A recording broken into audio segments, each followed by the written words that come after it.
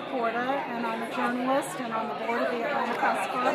And I introduced Dennis Lockhart, the president and CEO of the Federal Reserve Bank of Atlanta, as he spoke to us as part of our Newsmaker series. We would like to thank our program sponsors for today's event, SunTrust Bank and Wells Fargo.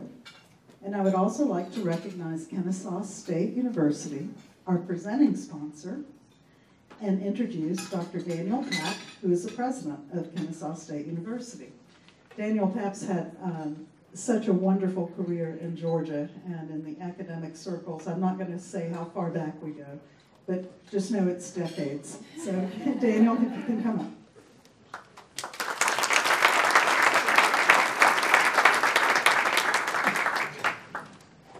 Is it really decades already, Brian? Multiple. On behalf of Kennesaw State University, it's a pleasure to serve as the presenting sponsor uh, for this afternoon's Atlanta Press Club Newsmakers Luncheon. It is especially an honor to be here with our good friend Dennis, Dennis Lockhart, uh, President and CEO of the Federal Reserve Bank of Atlanta. Uh, Mr. Lockhart's expertise is something that is, we here in the American South benefit from tremendously, and across the nation, uh, the country benefits from it as well. Just a few words about Kennesaw State University. Next Monday, we will welcome our 33,000 students to begin fall semester. Uh, we were founded about 50, 51 years ago. Uh, we had 1,044 students there. We have almost twice as many faculty members now as we had students then.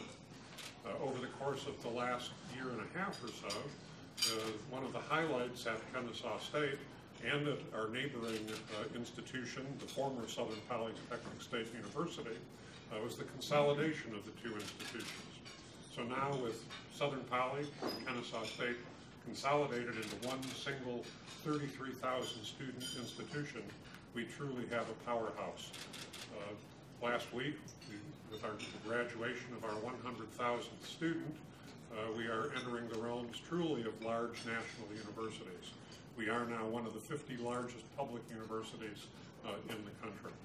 And lest I forget, in about 24 hours, uh, 24 days and seven and a half hours, uh, the Kennesaw State University football team will take the field for the first time ever uh, against Eastern Tennessee up in Johnson City, Tennessee. Um, the Federal Reserve Bank of Atlanta serves the 6th Federal Reserve District, which includes Atlanta, Florida, Georgia, and parts of Louisiana, Mississippi, and Tennessee. Now, that only tells us one slice of Dennis Lockhart. Um, he actually, this is his second tenure in Atlanta. From 1978 to 1986, he was a senior corporate officer for the Southeast office of Citibank. And when he was in that role, he was instrumental in the founding of the Atlanta International School. That is something he is still involved with today.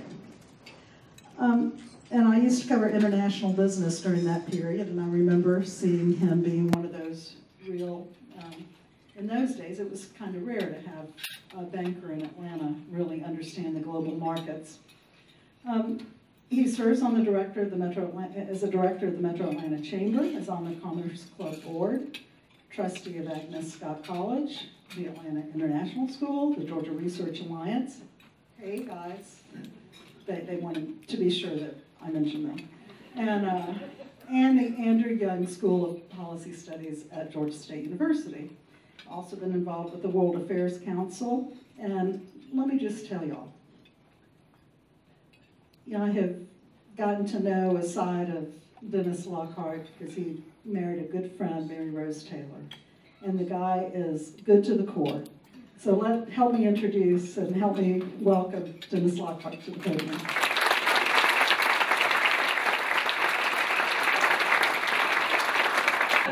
Lockhart is a very influential member of the Federal Reserve Bank system.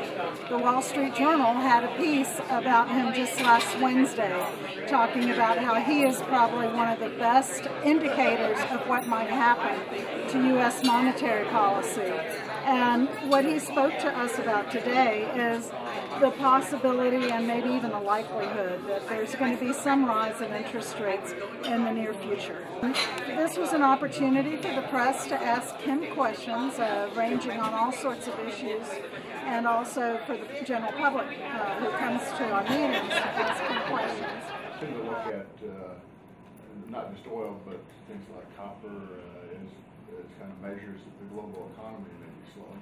To the extent that the decline in commodity prices is some kind of a signal of a materially um, slowing global context. As he said during his talk, he's good at dancing around certain questions because the Federal Reserve Bank has to be very careful in everything that it, that it says.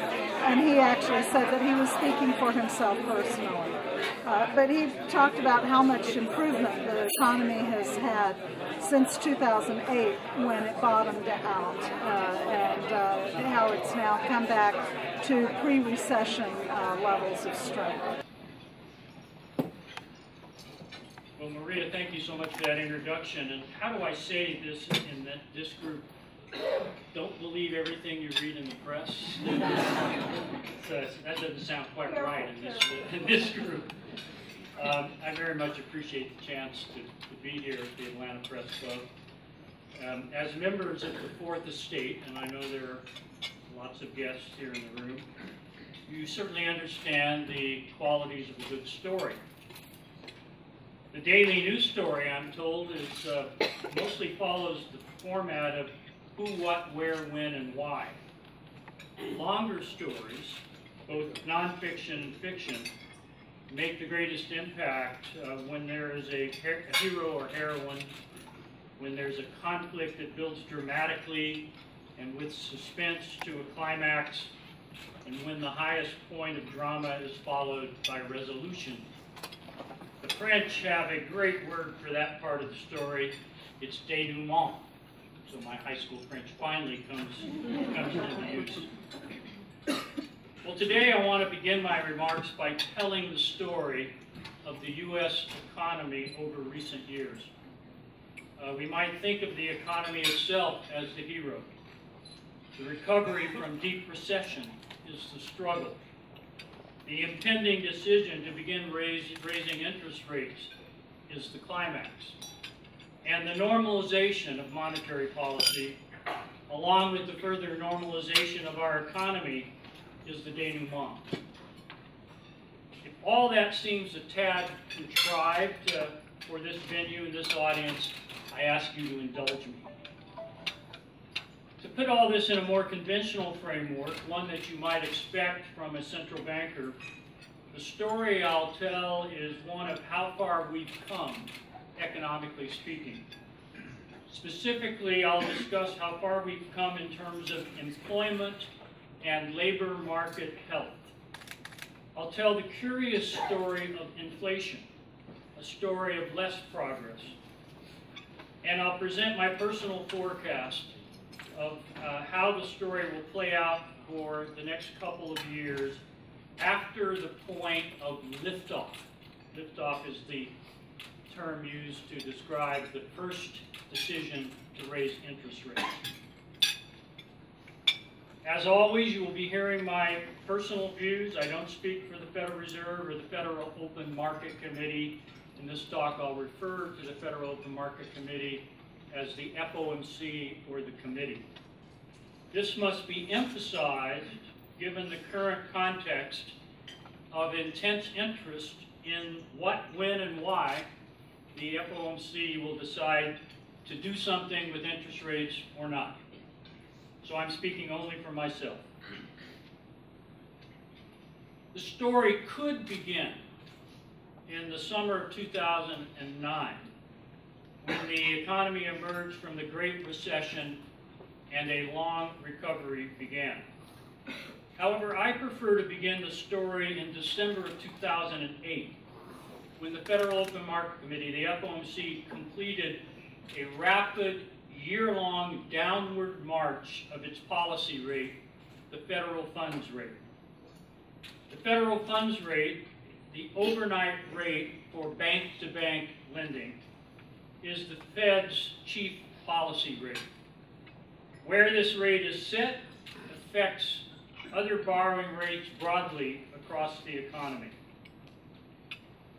The downward march of the policy rate began in September 2007 when the committee dropped the federal funds rate from five and a quarter percent to four and three quarters percent. Interestingly, I joined the Fed in March of 2007, and when I joined, the federal funds rate was at five and a quarter. Quickly went to zero. As the crisis unfolded, the FOMC pushed the rate lower and it reached zero effectively in December of 2008. It's been there ever since. The economic conditions that evoked the, uh, that policy response in 2008 were extraordinary. Let me describe the situation of the national economy at that time.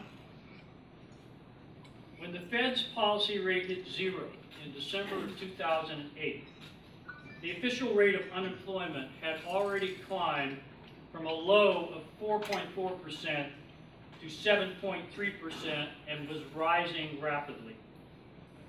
It would peak at 10% in less than a year. Between 2007, December of 2007, and February 2010, U.S. payrolls fell by more than 8.7 million workers. In the fourth quarter of 2008, real gross domestic product contracted at an, that is sh shrunk, at an annualized rate of 8.2%. The economy's performance in that quarter was its worst in 50 years. In December 2008, the economy had already been in recession for a year. The recession wouldn't officially end until the following June. When it finally did end, the cumulative loss in national output amounted to the greatest contraction in economic activity in post-World War II, in the post-World War II era. The recession was extraordinarily deep and it was broad. In early 2009, a substantial majority of U.S. industries had either stopped hiring or were cutting their, their workforce. Construction activity, very relevant here in Atlanta. Construction activity and employment entered their deepest and most protracted decline since World War II. Industrial production was hard hit as well. In January 2009, for instance, four of five manufacturers and other industrial producers were generating output at levels below six months earlier. Retail spending was off more than 10% from year earlier levels. And measures of consumer confidence had fallen to near historic lows. Virtually every region of the nation and every economic sector at that time were under substantial stress. Let me contrast this picture of the state of our economy at the end of 2008 and early 2009 with the picture we see today. Since bottoming out in the second quarter of 2009, real economic output is up cumulatively about 13%. Said differently, the economy is 8.5% larger than its pre-recession peak. To give a sense of the scale of improvement, the U.S. economy has added activity about equal to the economy of Mexico. Although the pace of improvement uh, in output has been slower than hoped for, by most measures, real gross domestic product is approaching its full current potential. From its peak of 10%, the rate of unemployment has fallen to 5.3%. We received a new employment situation report just last Friday. The official unemployment rate remains at 5.3%. This level of unemployment is just a shade above what some economists think is consistent with full employment. A broader measure of unemployment and underemployment, one that includes marginally attached workers and those working part-time involuntarily, it too continued to fall in June to 2.4 uh, to 10.4 percent. From the employment trough, the economy has added more than 12 million jobs. Consumer spending, which really does uh, motivate or drive the economy in many ways, is almost 14% above its recessionary bottom. And consumer confidence has recently climbed back to near and by some measures above pre-crisis levels. So to sum up, the, the economy has come a long way in the more than six and a half years since the federal funds rate hit bottom. A subtext, however, is that the recovery has been slow. It's taken more than six years of recovery to accomplish what I just described. Clearly, this is a rather long story. The recovery has proceeded at an average annual pace of expansion of only 2.1% per annum. Over this period, the economy has faced a number of headwinds and shocks. We've pushed through several domestic fiscal showdowns, including one federal government shutdown, two major winter weather events, geopolitical tensions, and wide swings of global energy prices. Most recently, the Greek and European Union stare down was unsettling with its potential for a major financial event or worse. These developments slowed activity, shook confidence, and bred cautious economic, economic behavior on the, part, on the part of American consumers and businesses. These spells of cautious behavior have contributed to a slow pace of recovery. The expansion over these six years has been sustained by extraordinary policy medicine involving not only ultra-low interest rates, but also three episodes of quantitative easing, or QE. To explain quantitative easing, much in the press in earlier years, essentially the Federal Reserve creates new money and uses it to buy long-term securities, and that buying power puts pressure on long-term interest rates, affecting mortgage rates, car loan rates, and so forth. The Fed undertook these large-scale asset purchases, as we call them, to exert even more downward pressure on interest rates. QE3, I loved to talk about QE2 because then you could talk about some ship that goes to England. QE3 ended last December in recognition of substantial improvement in the state of the economy. One constant over this period has been the FOMC's focused attention on achievement of our Congress-mandated policy objectives. True north in the committee's setting of monetary policy is maximum employment and low and stable inflation. In January 2012, the FOMC took the step of defining a formal target, uh, target rate of inflation. The committee set the inflation target at an annual rate of 2% to be achieved over the longer run.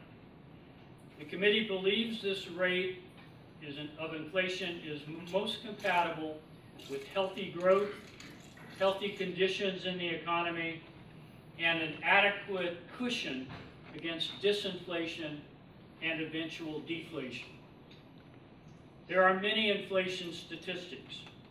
The committee chose to apply the headline or total rate of inflation according to the Index of Personal Consumption Expenditures, This is an index calculated by the Bureau of Economic Analysis. The curious thing in this story is that over six years of expansion, inflation has chronically remained well below this target of 2%. The average rate of inflation over the six plus years of recovery has been 1.5%.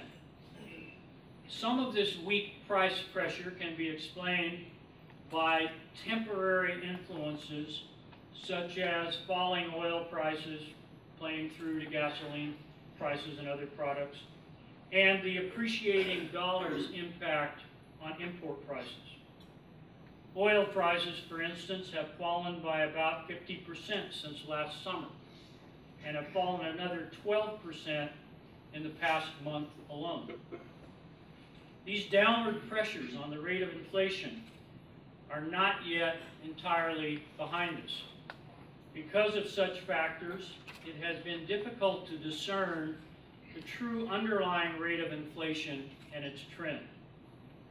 This analytical challenge continues, and I expect it to persist for a while.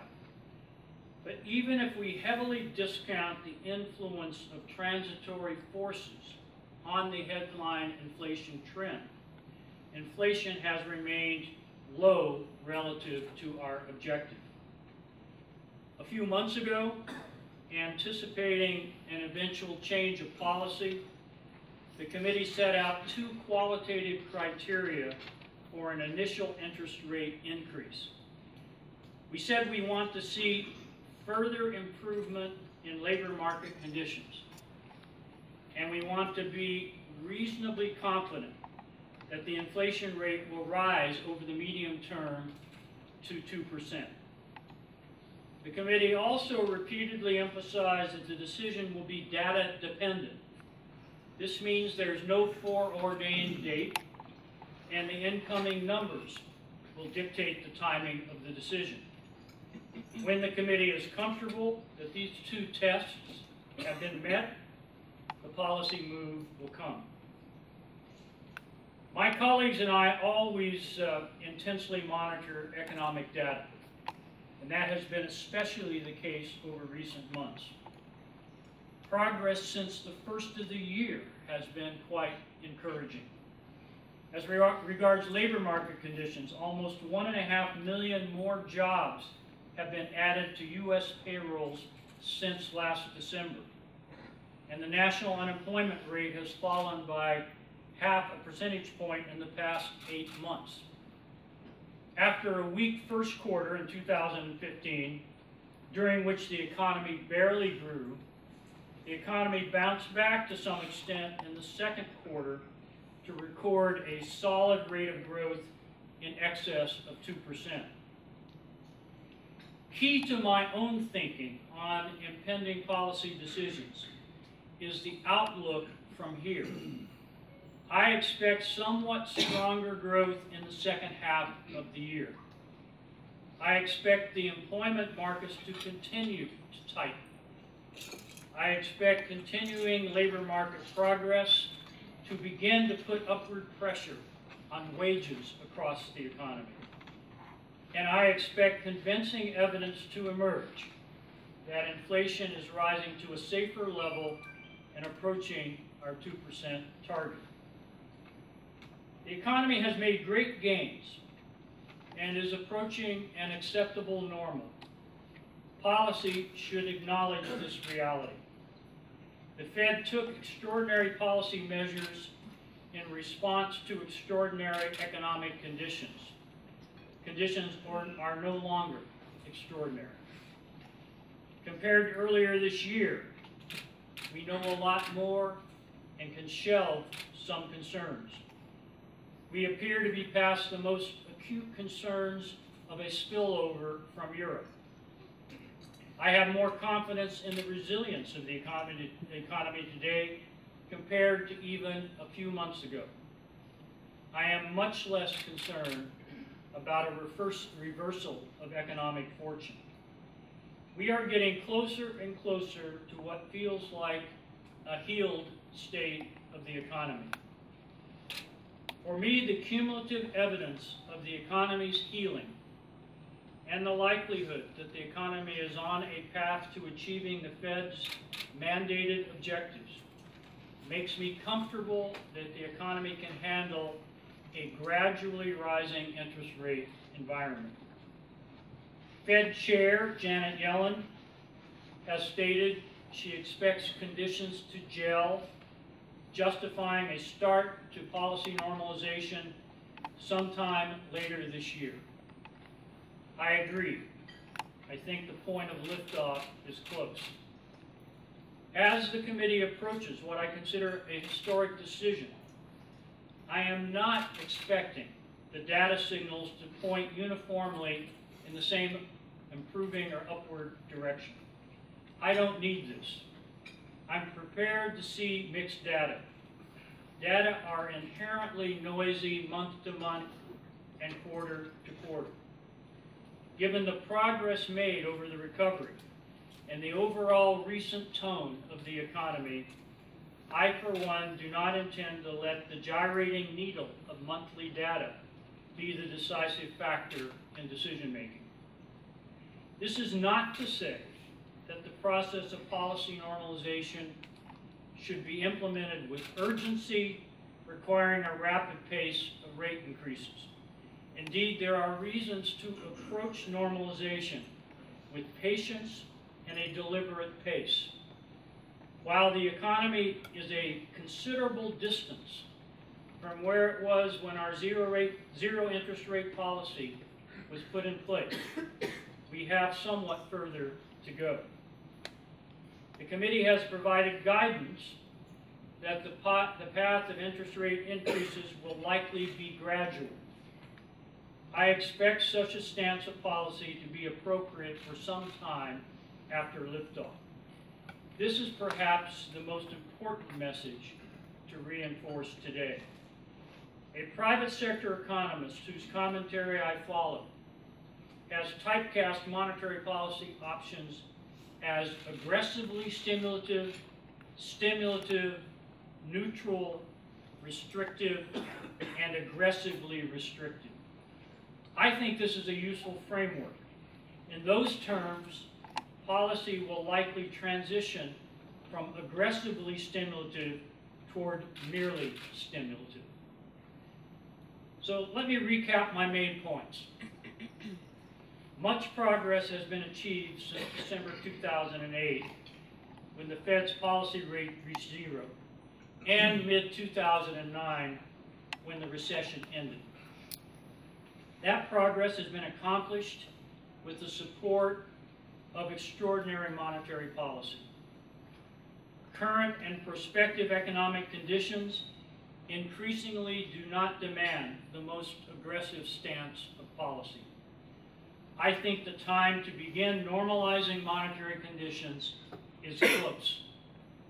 Once underway, the process of raising interest rates to more normal, sustainable levels will likely be gradual.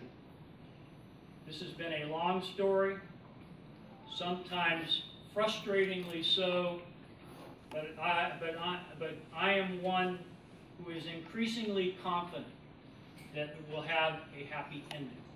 And with that, I will, in the great tradition of central bankers, hear your questions and do my very best to give you obscure answers or evade the question altogether.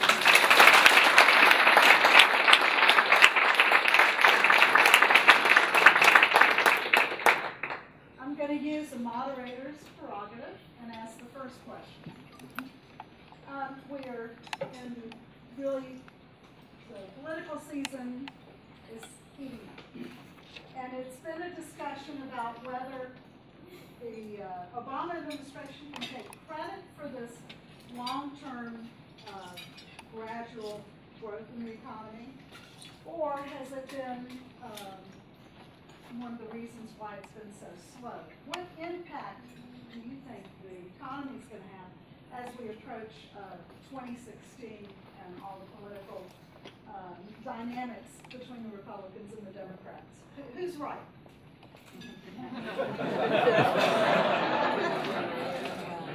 First, let me start by explaining that Federal Reserve is apolitical, nonpartisan. Uh, We have the privilege of formulating monetary policy with independence, although we report to Congress. And uh, in order to preserve that independence, we don't wade into obviously political questions. But the last part of your question, I can probably make some comment on. And the last part of your question is uh, what influence will the state of the economy have on the politics of 2016? And there have been a lot of studies of this. And the studies show that the condition of the economy and the prospects for the economy have a big influence on how people vote. Uh, so, uh, for better or for worse, I'm not going to take sides, the situation that the candidates will face, as I have predicted, will be a moderately improving economy with positive, uh, positive prospects ahead. Okay. Uh, Could you comment on the possibility that the Fed's policies have contributed to the anemic recovery because banks are reluctant to lend at long-term at what they perceive to be artificially low rates, and savers have cut back on spending because their income stream from interest has dried up? Well, I, I, Did everybody hear the question? Did I'll repeat the question. Um, Question is, would I attribute uh, Fed policy to the, or the anemic recovery to Fed policy? Uh, First relating to bank lending, the fact that bank, and this might be something other than the interest rate policy, it's the dot, implementation of the Dodd-Frank Act, which might be something you were thinking about. Um, Does that have, has that had an effect or had an influence on the recovery? And then the second part of the question was, would I add to that interest rate policy that has uh, certainly not rewarded savers um, and people on fixed incomes and so forth because of low levels of earnings on, on their deposits and uh, other investments? Is that a fair summary of the question? Yes, sir. Well, let me just give you what I think are the facts. Uh, The attribution can be argued uh, in, in different ways. Uh, Following the recession, with the implementation of the Dodd-Frank Act, there is no question that banks' credit standards were far more stringent than they were prior to the financial crisis of 2008 and the recessionary period in 2008 through mid-2009. And therefore, it was harder to get a loan. And this certainly affected some borrowers in the economy. Uh, We implemented the Dodd-Frank Act. We made many of the rules, but we implemented the Dodd-Frank Act um, as our responsibility as something that had been passed into law. I would also say, however, that some of the losses and bank failures and stress that the banking system was under during that period also influenced credit standards. So I, I don't think you can attribute everything to policy. The conditions changed and banks um, responded to those much more stressful conditions.